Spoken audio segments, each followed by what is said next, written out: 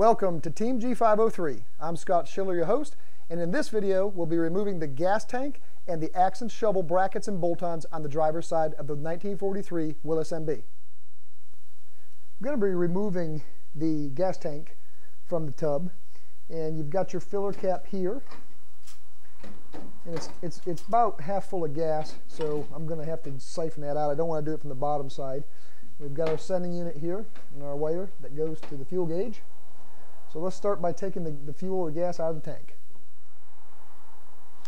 Got this handy dandy little siphon pump that I picked up for really cheap. I think it was four bucks.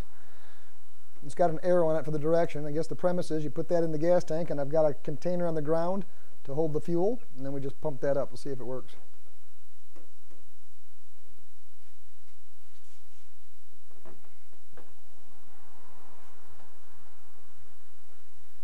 Like a champ.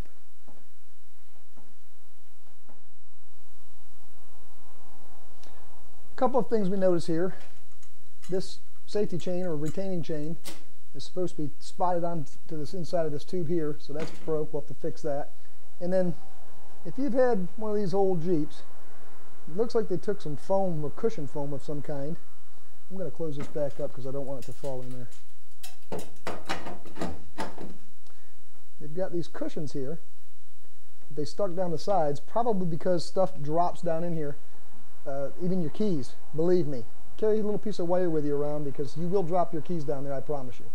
I'll take this out of here, put this in the trash can.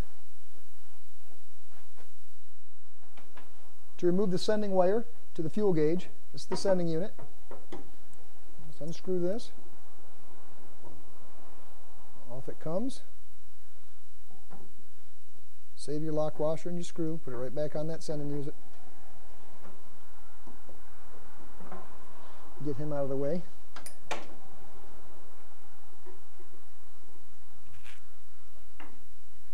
Then we've got these two straps that are held on with a nut and a bolt. It just compresses them, makes them tight. Go ahead and remove those.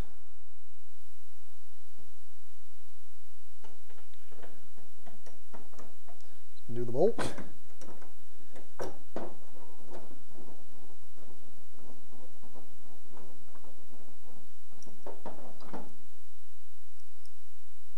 You see that strap already has come loose.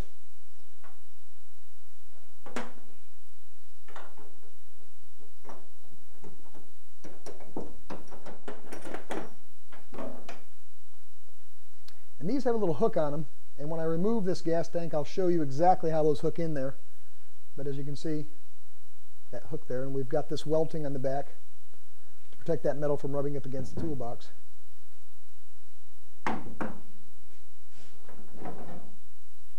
Number two.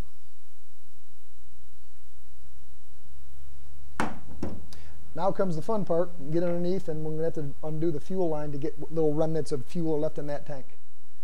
So we're underneath the Jeep now. And if you look right there, that's where the actual fuel line comes through the tub floor. Someone has put a inline filter in here, which is, that's a good idea. You can see the pieces of the old one that they just cut off and left there. So what I'm going to try to do now is I've got a little fuel left in the tank. It's not much, but I don't want to spill it all over the place and cause a fire. I'm going to see if I can't just remove this and drain that into my gas can. So now that I've got the majority of the gas drained out of this, there's still a little bit left in there. I'm simply going to lift up on it.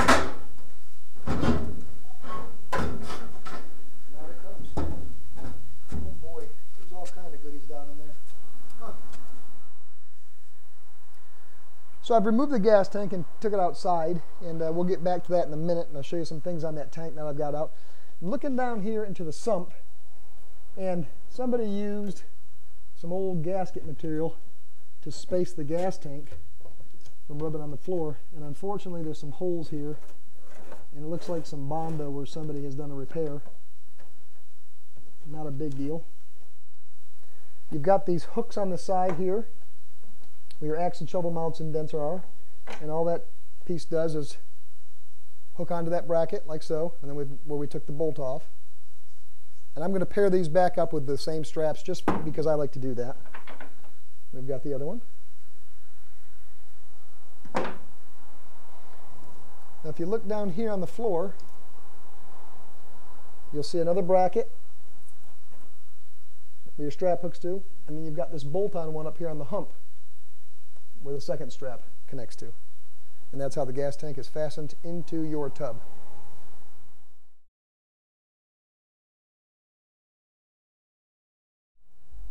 Outside with the gas tank, out here on the apron, and unfortunately, this one has some issues. This one has been leaking. You can see this. It's been leaking right here. And someone's repaired it with something at some point. So we're going to have to, it's the seam split right there. I guess nobody did repair it. We'll have to get to that because I don't want gas leaking into the tub of the MB.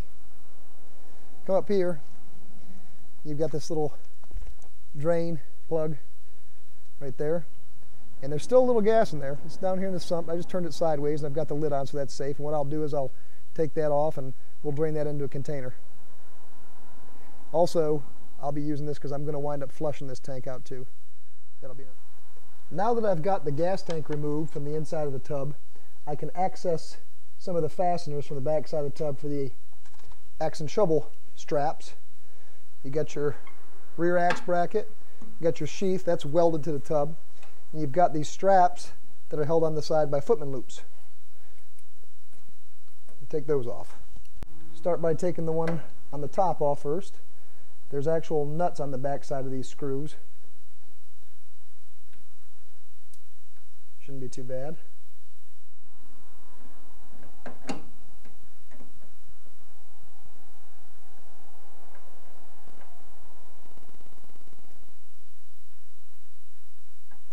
Let's remove that. I like to keep all the original hardware. But you can see that these footman loops, these straps just slip through there and then they're screwed onto the side of your tub.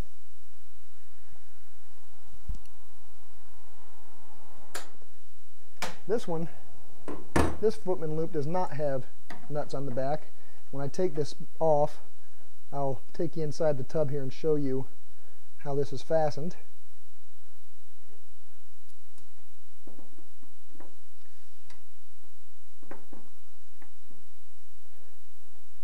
Interesting note of conversation. If you've ever followed the G503 forum boards or Facebook about the old World War II Jeeps, when it comes to this axe and shovel holder business, there's been some controversy about two different areas for footman loops. And I guess we can talk about that if you'd like to, but on the 43MB, there definitely is two areas that look original to me from where footman loops would be attached to the body. This rear strap, indeed, has nuts on the back side also, but these are in the wheel well. So we'll take these off.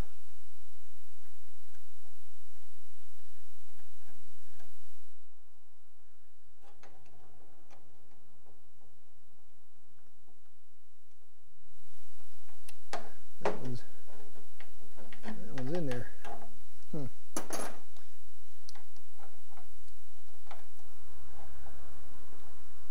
That one doesn't want to come out.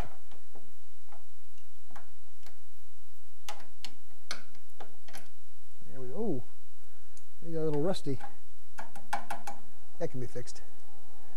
As you see, they're simply go inside and strap on.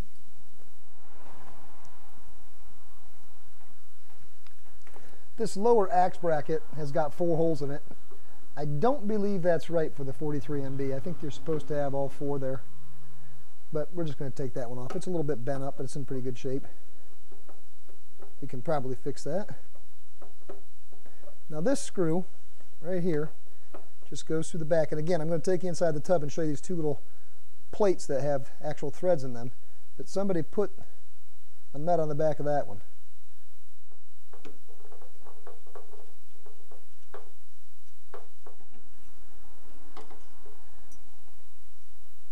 And we've got the rear axe bracket off. On the inside of the tub, you can see these plates are tacked to the actual tub and they are actually threaded. And there's the ones where the top two come through. And down here, you can see that one of them's threaded and one of them looks like it's been drilled out for that one bolt.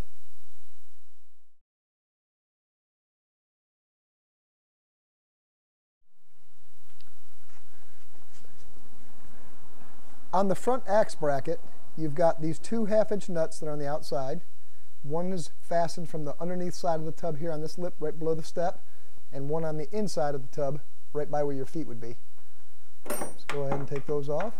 On this underneath side one here, I've got a little issue because here again, we're in an area where I can't get a socket in there, so I'm just going to use the box end open end wrench.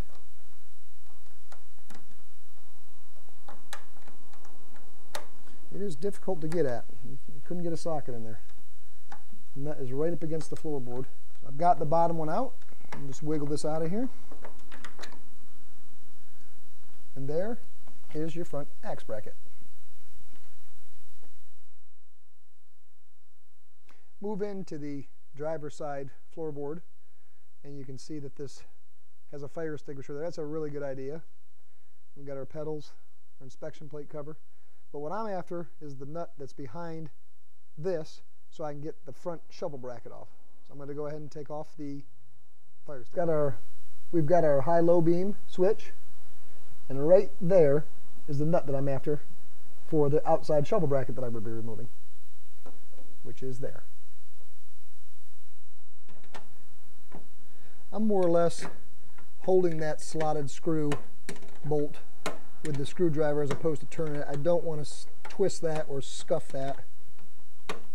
I'm just going to take the bolt, the nut off on the back side.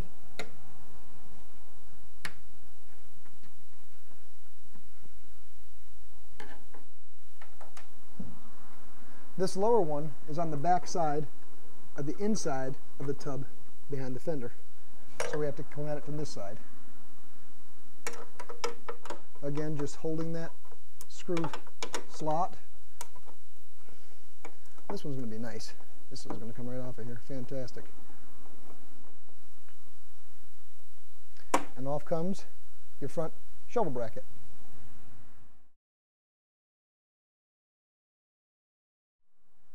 I hope you enjoyed the video and I hope you found it helpful. We are restoring a 1943 Willys MB and we're archiving it bolt by bolt, piece by piece on YouTube. Subscribe to Team G503. Special thank you to Ron Fitzpatrick and Ron Fitzpatrick Jeep Parts. Until next time, keep it safe and happy Jeeping.